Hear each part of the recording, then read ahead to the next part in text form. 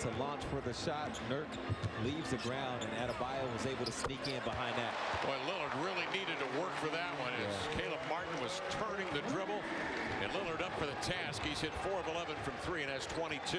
Adebayo fronts the post. Hart a jump pass outside to Lillard.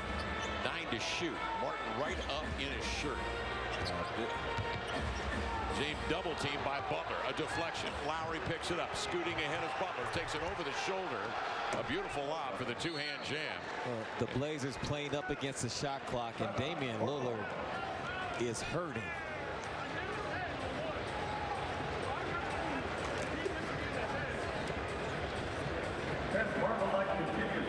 Yeah, he got popped, and he's heading back to the locker room.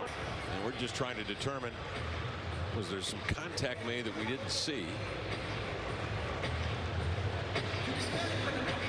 Came down there, obviously, and was grimacing after he knocked down the shot.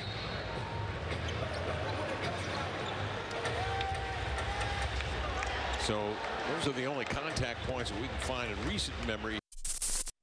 Thank you for watching ESPN on YouTube. For live streaming sports and premium content, subscribe to ESPN Plus.